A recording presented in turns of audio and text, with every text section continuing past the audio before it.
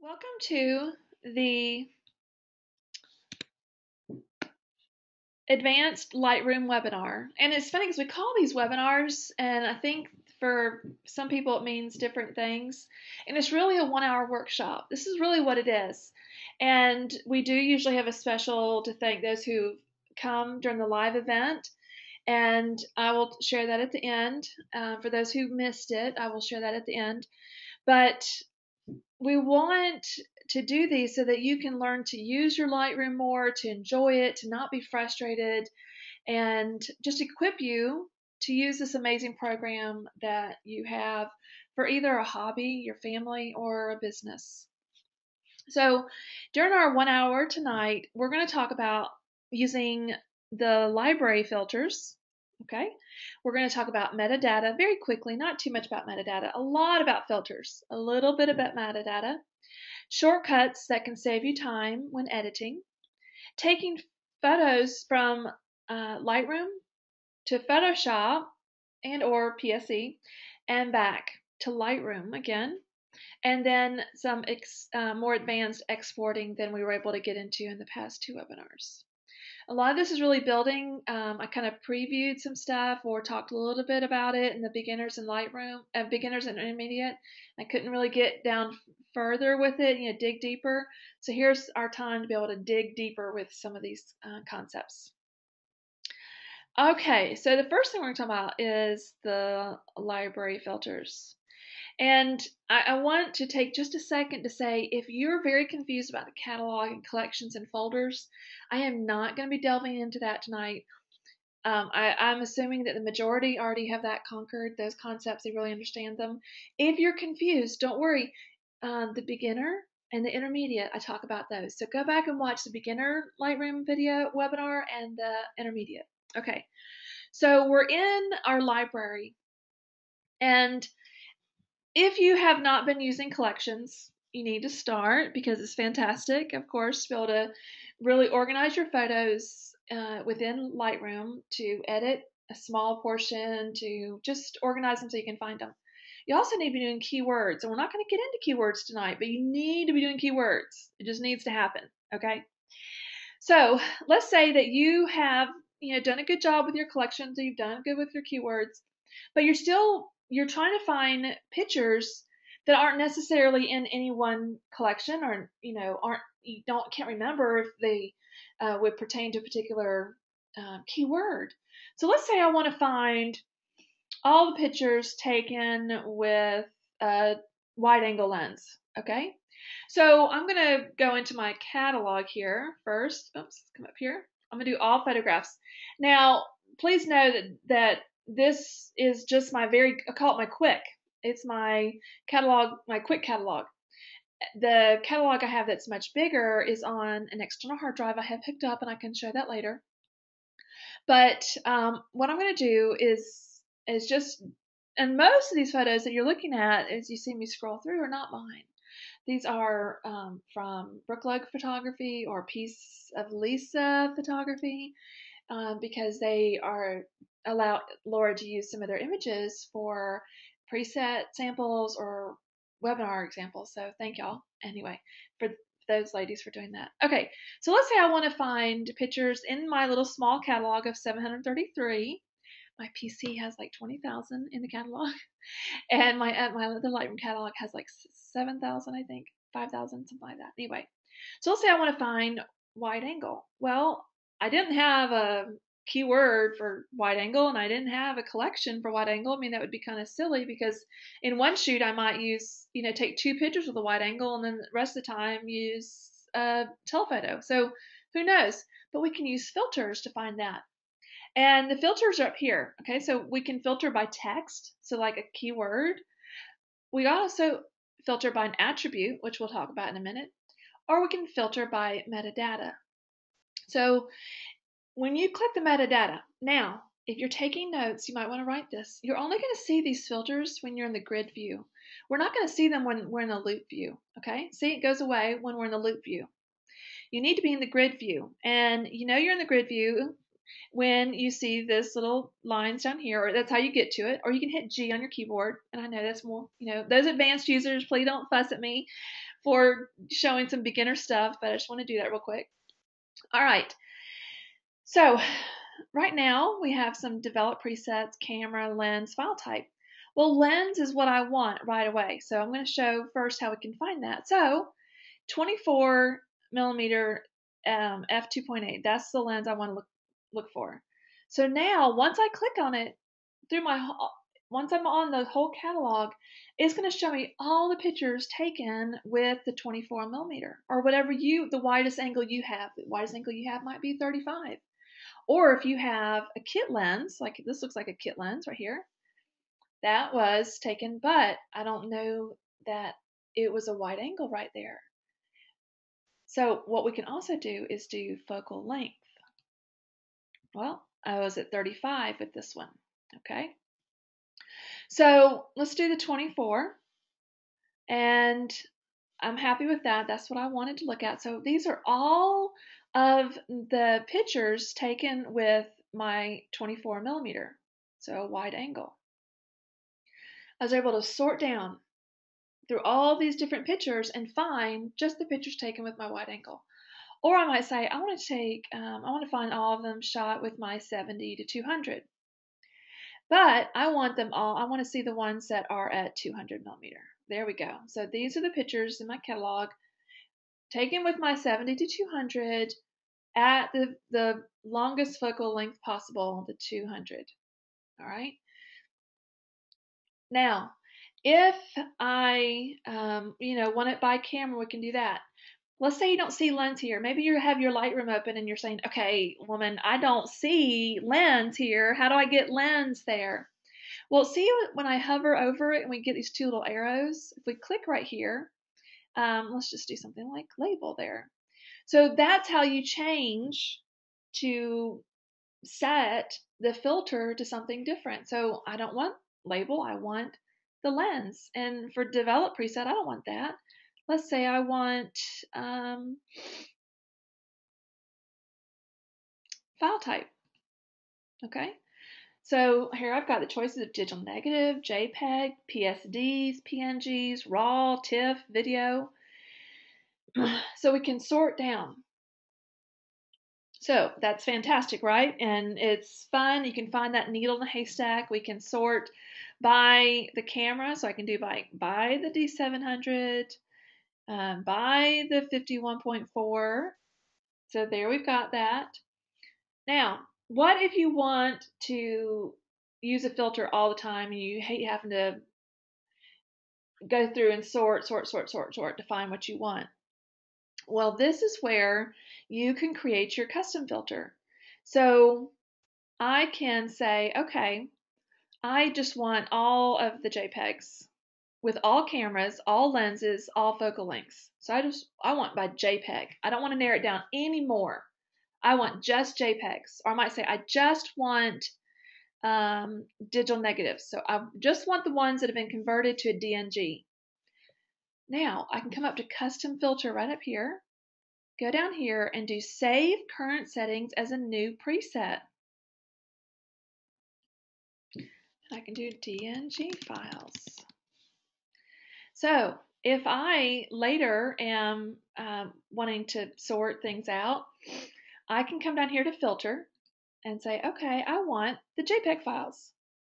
And it goes straight to the JPEGs. I can say, nope, I want um, those that are five stars. Oh, now comes all the ones that are five stars that I have given a five star rating to. I can say, all right, no, really, I want all of the Tamron 70 to 200 shots. Well, there it filters it down.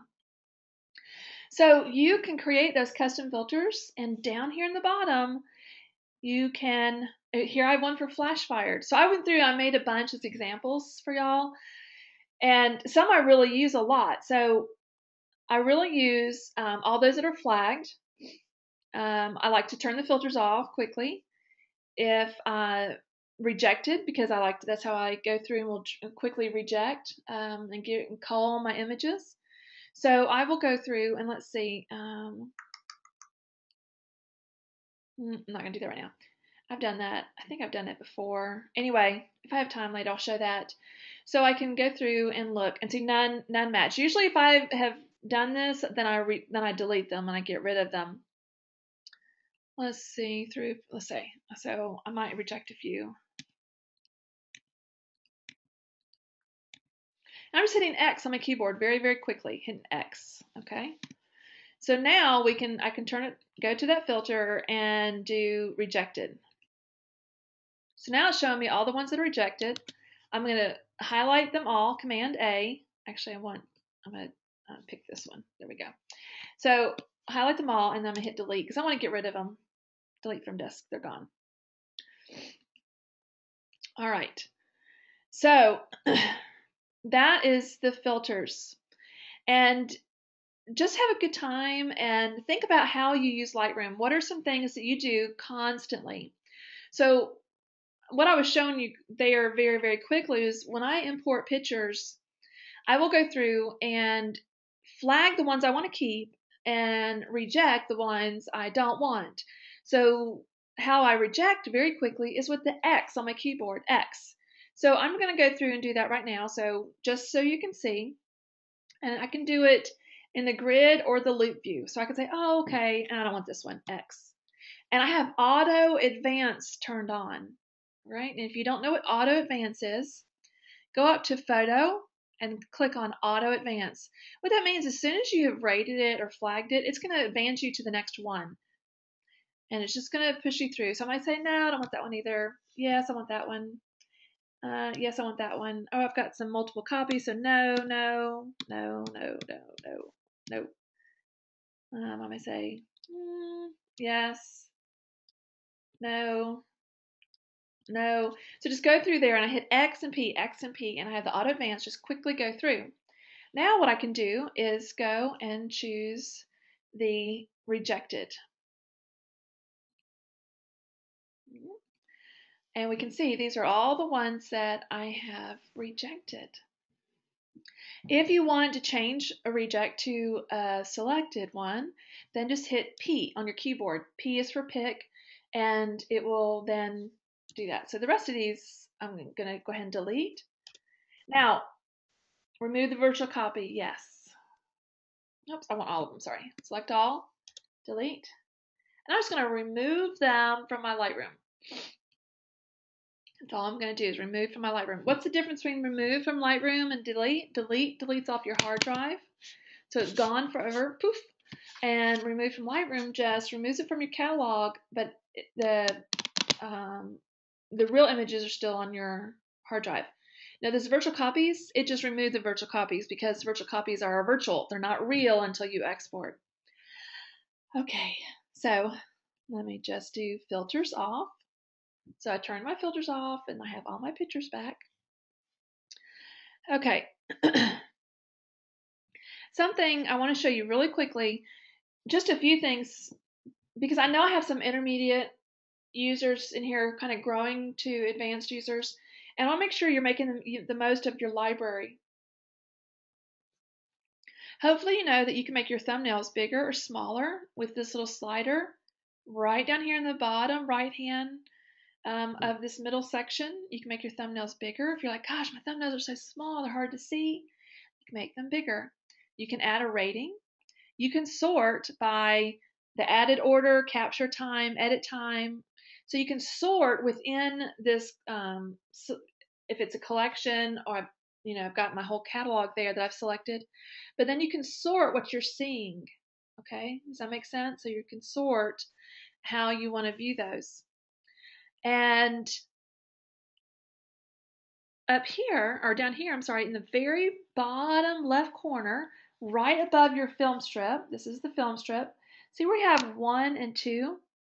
What this second one is, is we, we get another, it's almost like a picture in picture type thing. And what's nice about that is that as we move, you can change, I'm sorry, you can actually change what you want that to be, right? So you can, oops, sorry. You can change how you want to view these, all right? Let me get back to one. And so if we want to compare, we can select another one, but you can choose how you're going to be viewing things. So as you see one over here, you can have this second view, secondary display right here. And then you can change, you can zoom, um, change the order of it. So just play around with that and uh, see how you can fit it into your Lightroom workflow. But I know a lot of people don't even know it exists out there. I don't use it that often, but I just want to make you aware of it. All right. The other thing I wanted to show you, and I showed before, was this spray can. So if you want to quickly add some keywords to some images that you weren't able to do before, you can do that. So you click the spray can, and now we can, I'll just do LR Advanced, something like that. Now, once it's in there, so I had it hit enter, it's it's programmed. Now I can just spray it on what I want it to to be. All right. Keep scrolling down and say, okay, I want it on this one and this one and this one. And it's going to apply the keyword wherever you choose to spray it. That's the spray can. And to dismiss it, just come back over here and click. And you're good to go right there. Okay, metadata. Up here, down here at the very bottom is your metadata. And you can create presets. It's, it's so interesting because everybody thinks of presets in terms of editing. But you can have filter presets for the library module. You can have importing presets, metadata presets, um, exporting presets, of course, the brush presets, the develop presets. So there's lots of different uh, presets that you can make, and all those are are just recording of settings. So we have our metadata, and I can change. Oops, not that my preset. So I have AP 2014. I'm just going to click on it. Now, we can choose to apply it. I'm just going to cancel. Let's say I need to get on one of my own. These are not my pictures right here.